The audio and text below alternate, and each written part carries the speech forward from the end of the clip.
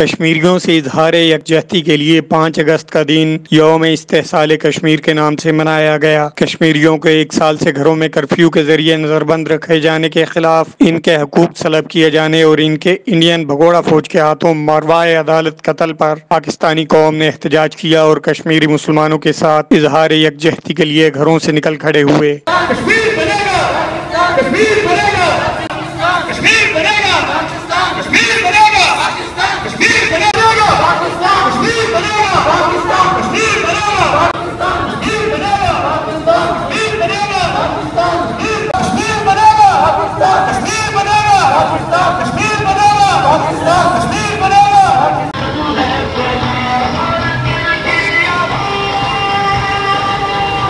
मुल्क भर में छोटे बड़े शहरों और कस्बों में सियासी, समाजी और मजहबी नुमाइंदों ने कश्मीरियों के साथ इनकी तहरीक में शाना बशाना चलने के अज़म का अदा किया। लाहौर में प्रेस क्लब शिमला पहाड़ी चौक पर दिन भर एहतजाजी मुजाहरे जारी रहे, जिनमें रहनुमाओं ने कश्मीरियों को हक खुद इरादियत देने और इन पर जारी एक तरफा लॉकडाउन के खात्मे पर ज़ोर दिया। मुजाहरों में बड़ी तादाद में नौजवानों और ख़वातीन ने भी शिरकत की।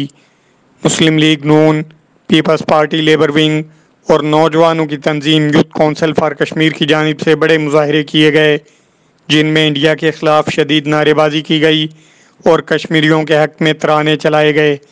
इस मौके पर सिक्योरिटी के सख्त इंतज़ाम किए गए थे और प्रेस क्लब जाने वाले तमाम रास्तों को मुकम्मल बंद कर दिया गया था।